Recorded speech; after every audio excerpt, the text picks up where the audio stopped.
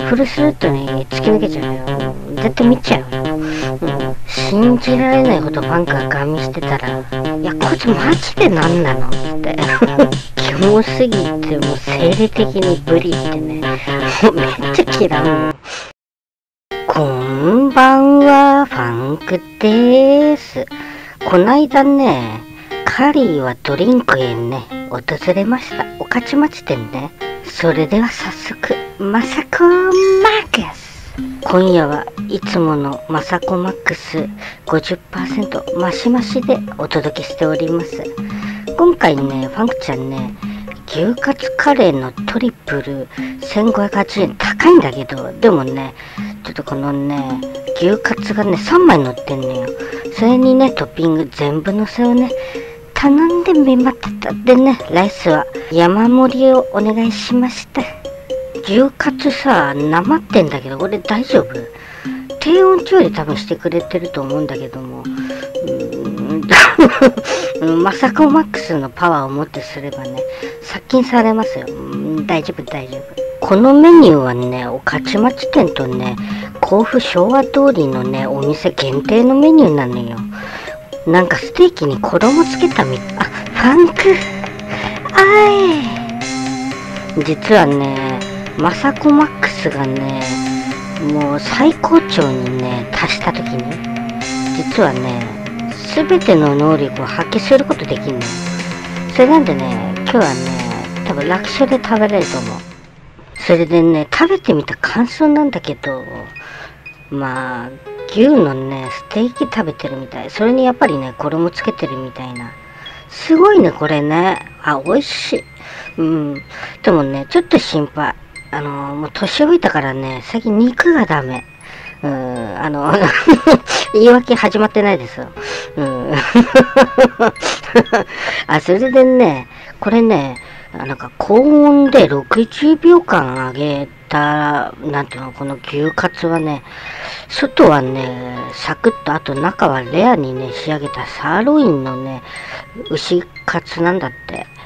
えー、レアに仕上げた牛カツは、フォンドボーベースの黒カレーとの相性はバッツグンって書いてあるよ。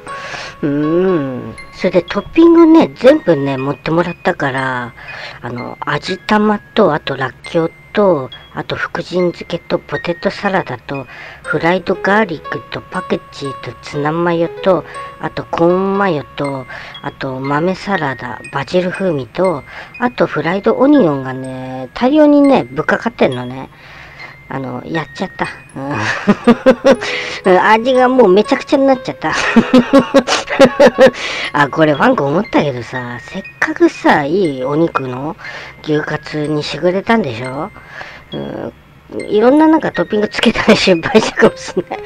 せっかくのさ、牛カツがさ、もうわけわかんなくなっちゃった。それでね、量的には全然ね、大丈夫だったんだけども、ごめんなさい。今回失敗です。うん、あのーお肉にやられた。途中で、本当に、あの、止まってしまってピピタッとね。それなんでね、あの、お客さん少なかったんで、あの、ちょっと少し水飲みながら休んでいいですかと店員さん聞いたら、あ、大丈夫ですよって言っていただいたんで、少しね、小休憩しました。トイレ行ったり、水飲んだりして、ちょっと小休憩取って、また再開しました。うーん。あらこれお客さんいる時だったらもう、めちゃくちゃ迷惑かけてたな。ほんとごめんなさい、お店の皆さん。もう優しい方たちで。うーん、もうおじいちゃんにね、すごくね、もう、献身的に介護していただきまして、大丈夫ですかって言っていただいて。いや、本当に皆様、あの、ありがとうございました。しかもね、食べ終わってね、お店ね、出たんだけど、あ、なんかおかしいと思って。あ、そうだ、スマホそのままだったっつって。いや、本当におじいちゃんなんで、もうごめんなさい。急激にね、食べれなくね、なってきてるんで、ちょっとね、あの、量をね、抑えながらね、少しずついろんなとこ回ってみようかなと思ってますので、よろしくお願いします。それでね、今回ファンクはなんかズビシなんか言うね、もう立場じゃない。いや、本当にね、お店の皆さんありがとうございました。うーん、すごく美味しかったです。今回参考にさせていただいたのは、旅の途中っていうね、なんか旅行とかね、あとお城とかね、あと温泉とかね、いろんなね、生活をね、綴ってる、あの、ブログを書いてる方の、カレーは飲み物で、牛カツカレートリプル山盛りだを堪能だを参考にさせていただきました。それでは、大人の恋愛講座。このコーナーでは実際にそういう状況になったら、このね、ファンクの大人の恋愛講座のままにね、行動すれば必ずね、女性をゲットできるというね、大人なコーナーになっております。うーん。今夜はね、ちょっと、ショートをね、抱いてみた気分なのよね。うーん。それで名前は何てしようか。うん、レイとかっていうのと、なんか綺麗だし、可愛いですよ、名前、レイ。うん。でね、このレイちゃんはね、まあ、ショートで似合う服装っていうか、ファン君の今回、ちょっと、好みをもろに出していいでしょうか。うん、競技用の水着好きなんや、ファン君。ごめんなさいね 実はね、中学の時にね、水泳部のね、同級生の女の子にね、一目惚れしちゃったのよ。その時からね、競技用のね、水着の魅力をね、ファンクは発見してしまったんだけども、絶対ね、あの、太ももの部分に、拳銃をさ、収めとくホルダーつけるとね、いや、まあ、やばいと思う。うん、ファンクやられちゃう。うん、いや、他の男の人みんなやられちゃうでしょ。うん、これね、競技を見ずに、そういう人見たことないけど 見たことないけど、なんかね、拳銃のホルダーつけてると、いや、まあやられちゃう。まあ、こういう子っていうのは多分ね、戦闘抜きにしてはね、ありえねえと思う。うん、うん。ファンクがね、世界をね、股にかけるね、もうトップクラスのプロのね、殺し屋、ファンゴ30だったとするじゃん。そのね、ファンゴ30さえ倒せば、私はね、ナンバーワンになれるのよっていうぐらい、ね、顔は可愛いんだけど、めっちゃね、強いね、このね、レイガンね、ファンクにね、勝負挑むね。もうあなたの時代は終わったのよ。君は僕の戦いぶりを見てないからそんなこと言えるんだって。いや、だってあんた、肩のところ、ピッペエレキ板貼ってんじゃん。そんなもう、肩が重いスナイパーなんか、世界ではいらないのよって。それじゃ君の挑戦を受けてたったって。でね、私はね、これでもまだ新人だから、私の用意したステージで戦っていただけるかしら。OK でって言ってね、ファンクね、ついてくねよ。普段ファンクね、クールな紳士ですけども、さすがに後ろ見ちゃうとね、やばいやばい。うん、いや、もう後ろやばい。競技用水着ってかなりフィットしてるじゃないですか。それなんでね、上の方にね、なんか、お肉がね、持ってかれるんですよ。それで、プレディトなのね。このプリリがね、もうプリリアントグリーンっていうような感じで、もうゼビシと胸に響いちゃうのね。じゃーんって。着いたわ。この中で勝負よって言ってね。へえ、洞窟、暗闇の中で戦うのかなと思ったんだけども。うんなんか転んだふりしてさ、タッチできんじゃん。喜んで入ってくんだけど、中ね、入るとね、もうガラス張りなのよ。もうあの、燃えるドラゴンの世界ですよ。もう、あ、どこにいるんだって。うん、これでね、ファンゴ30、あなたは私を見失って、最終的に私があなたを倒して世界ナンバーワンになるのよっ、つって。でもね、このね、例のね、音楽は外れんのよ。今までね、平成をね、装ってたんだけど、ただでさえさ、この例の格好やばいじゃん。こんなね、無数にいや、まあ、たまらんわっていう格好のね、姿がね、いろんな角度で映るじゃん。そしたらね、もうね、テンパっちゃってね、あら、こっちはお尻、あ、そっちはあの、あの、ふくらはぎ、あ、こっちは、つってね、もうね、おっちゃんね、テンション上がっちゃうのよ。そしたら、レイがね、いや、こいつマジにキモいんだけどって、嫌悪感をね、表すのね。いや、なんじゃこいつって。気持ち悪い、なんか不快なものでしかないんだけど、いや、マジにキモいわ、こいつっつってね。ここで戦うのをね、例はやめにすんねよ。それでおっちゃんはね、あ、ごめん。スマホで動画撮っていいかなって言ったら、いや、いいからお前早く出てこいよ。マジでこいつキモいわ。つってね、めちゃくちゃ嫌われんのよ。なんなのこいつ。じゃあ今度はあのー、海で勝負だっつってね。あの、アーマーライトってさ、海水浸かるとさ、あの、引き金引いても、弾がうまく出ないじゃん。それを狙ってね、レイはね、海でのね、戦闘を持ちかけるんだけど、さすがにプロはね、アーマーライト持ってて、海での戦いてか挑戦はね、受けないだろうと思ってたんだけど、快く受けんのよ。だってさ、競技用水着ってさ、濡れるとさ、もう最大に力を発揮するじゃない。でもおじちゃんたまんなくなっちゃうの。しかもさ、髪の毛濡れてさ、なんていうの、あの、ピタッとなるじゃん。いや、まあ、たまらんね。あ、今見ると、見てるのがバレるって時あるじゃん、電車で。周りの人の目もあるしさ、いや、見ちゃダメだ、見ちゃだけだってさ、自分に言い聞かす時ってあるじゃん。でもね、競技水着がね、濡れた時はね、いやもうそんなもう気持ちはね、もうフルスルッとね、突き抜けちゃうよ。絶対見ちゃうよ。うん、信じられないほどファンクがガン見してたら、いや、こいつマジで何なのつって。キモすぎて、もう生理的にブリってね、もうめっちゃ嫌うのよ。この時ね、ファンクね、もうね、理性失ってるから、戦いのことなんかね、もう頭にはね、もう一味も残ってないのよ。いや、ちょっと頼むから、ちょっとあのー、平泳ぎしてるところさ、後ろから見ていいって言って、あの、きり。いや、ほんとこいつ何？つって。いや、ほんとこいつ、いや、マジ死ねよつってさ、めっちゃ、いや、でもね、これね、作戦なのよ。もう徹底的にね、嫌われて。それでね、最後にね、心を揺さぶって落とすというね、ファンクのね、受注にはまってますよ、これ。もうプロのナンパ師はね、もう相手をね、もう殺すっていうぐらいまで憎んできてる、その女性をね、落とすにはこれぐらいね、荒行事をしないとね、ズビして落とせないんですよ。うん、それなんで次回続きで。うん。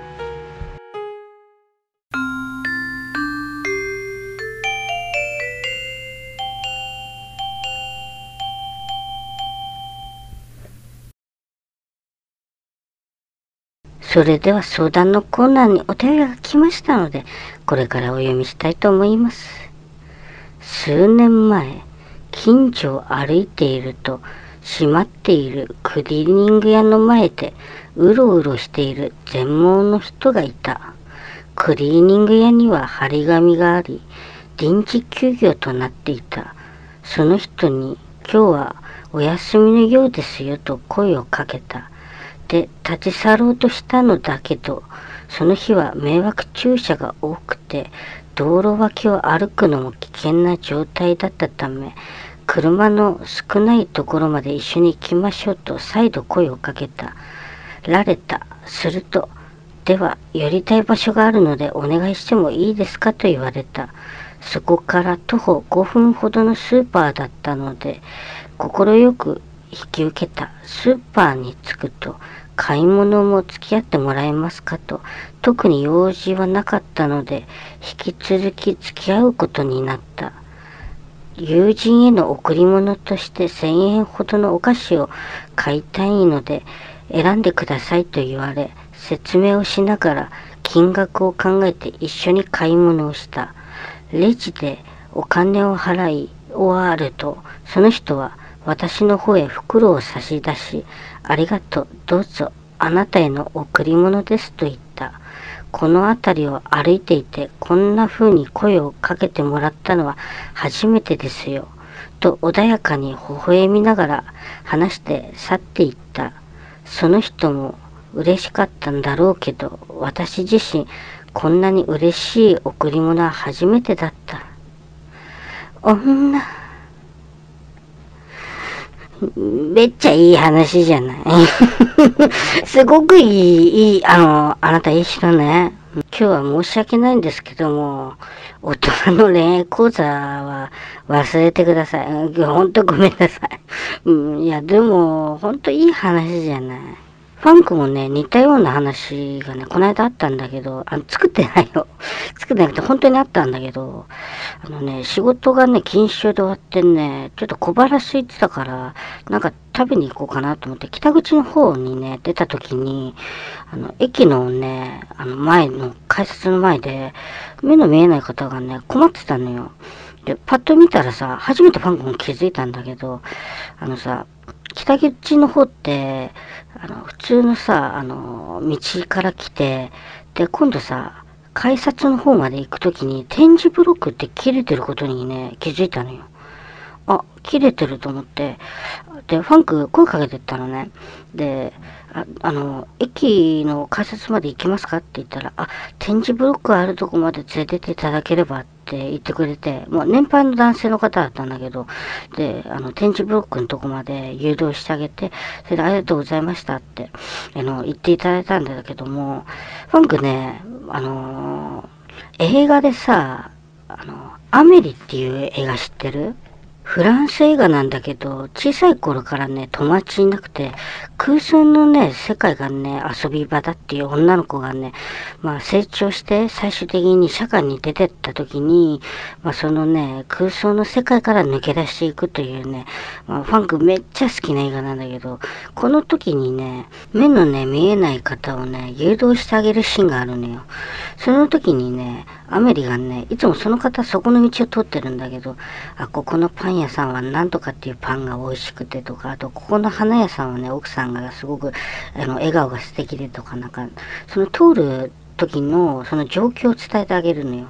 そしたらね、あ、ここってそういう風になってるんだっていうんでね、その人が感動するというシーンがね、ファンクめちゃくちゃ好きなのよ。それでね、すごく影響されちゃって、前にね、なんかあの、まあ、その、この間もそうだったんだけども、いつもこう通られるんですかってね、あの、声かけた時に、あ、たまに通りますって、あの、会話になったりするじゃない。そうするとね、あ、実は改札の横にね、隣あの、パン屋さんになってんですよって言うと、えー、で、右側ショッピングモールちょっとついでて、タイのなんかラーメン屋さんとかすごくここら辺美味しいんですよって言ったら、え、ここって右側、なんかショッピングモールになってんですか？って言うから、あ、そうなんですよって。実はここら辺って、あの、北口あの、フィリピン街って言ってて、フィリピンの美味しいお店とかいっぱいあるんですよって。で、右側の方行くとね、あの、台湾ストリートといって、台湾のね、美味しいラーメン屋さんいっぱいあるんですよって言ったら、へえ、初めて知りましたって。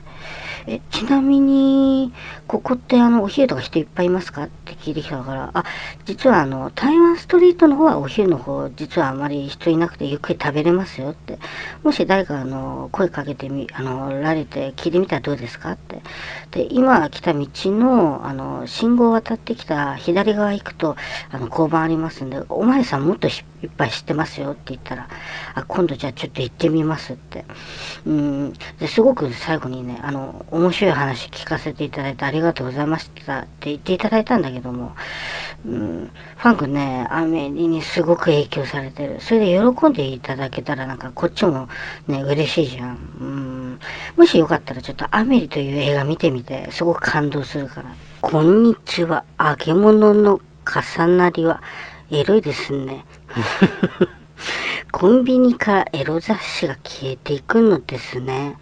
あそこであの本開いている人はなかなか勇気がいりますね。昔は自販機があって人の目盗んでこっそりと買いに行ったものです。黒消しはバターでなくなるとか、バターなくてマーガリンで消したけど、そりゃマーガリンじゃ安くて消せないぞって、河川敷にもよく捨ててありました。ネットで見るバツバツより安い紙の方が興奮した気がします。もちろんビデオもない時代のことですがね。見終わらないうちに写真がなんでガビガビになっちゃったのでしょう。ウィンドウガビガビになっちゃうともしかして、工芸品でも作ってた、木工用ボンドとか使ってたらガビガビになっちゃうよ。うん。ファンクね、実は30前半ぐらいまでコンビニでバイトしてたのよ、深夜。ファミリーマートだったんだけど、それでさ、買ってく人ってさ、まあ、何回も買ってくから、あの、そのお客さんの方からね、なんかこんなのばっか買ってなんか恥ずかしいねとかって、あの、年配のおじちゃんとか、いろいろ言ってくる時あるんだけど、あの、ほとんどの方がね、寂しい方が多い。うん、あの、みんなの持ってる寂しいっていうのとはちょっと違うんだけども、例えばさ、あの、警備とさ、あの、管理なんか一緒にやってて、ビルに駐在してるおじちゃんとか一人でさ、まあ、建物の中にいて寂しいからちょっとビールとか、なんかおつまみと一緒に本買っていく人とか、あとね、あの、サラリーマンの人で、もうずっと毎週買っていくのよ、同じ、あの、デラベッピンを。で、その人がね、毎週じゃない毎月だ。デラベッピン 月間号だね。あ、そうそう、あの、デラペッピンと売れっ子だったと思う。あとはなんかいくつか。いつもこんな本ばっか買ってすいませんって、その時酔ってたんだけど、あ、いやもう全然あの、お客さん何でも買ってっていただければもう嬉しいですって喋ってた時に、実はなんかあの、新婚なんだけども、もう単身赴任ですぐ東京の方に来てしまって、奥さん千葉の方らしいのよ。それで、そういう本を買って、まあ紛らわせるっていうのもあるんだけど、なんか、DVD とかその時さ、流通いっぱいしてて、本なんか売れないだろうって思って、なんかまあみんな思ってた時代の時の話なんだけどね。うん。だかそういう本の文章とか見て、で、なんか奥さんとかのことを重ね合わせて、なんかそういうシチュエーションでなんかあの、妄想したりとかっていうようなことを言ってたのよ。うん、いや、ほんと寂しいのよ、一人は。って、あ、まあ、そうですねって、まあ、新婚で、新婚なんですよねって。うん。だからね、まあ、その方もなんかパンとか、まあ、カップヌードルとか買って、ついでに、いつも買ってくのよ。うん、やっぱりなんかね、ああいうのは、ちょっとね、あの、表紙をさ、変えてさ、ね、ちょっとあの、他の人もさ、子供とかがね、見ても、そんなね、差し支えないような、うん、表紙に変えておくっていうのはどうかな。そういうね、本にはね、ちょっとクスってしてしまうのがあるのよ。うん、なんかあの、清純などっかのお嬢さんがどうのこうのとかっていうさ、なんかそういう、なんていうの、まあ、背景がさ、見える文章とかが書いてあるのね。でも、どう見てもガングロのギャルなのよ。えー、これ清楚って？い ううん、くすっと笑えちゃうのよ。なんかそういう、ね、なんか寂しさをね、紛らわすのにはね、とても、なんか大切なんじゃないのかなと思うんだけども、うん、需要ね、あると思うのよ、まだ。だって、あれだけ本が置いてあるってことは買う人がいるってことでしょ、うん、だから寂しい方ほんと多いのよ。でね、ファンクね、今まで2人だけ女性が買ってったの見たことあるのよ。二人ともね、買ってくのはね、深夜ね、もう誰もいない時に、あの、漫画のやつを買ってくのよ。それなんでね、女性の方にもね、そういう需要があるとはファンク思ってるんだけど、まあ、あの、多分1割とかそれぐらい、1割もないかな。でも、女性の方でもね、ちょっと寂しくてそういうの見たいなっていう思う時あると思うんですよね。うん。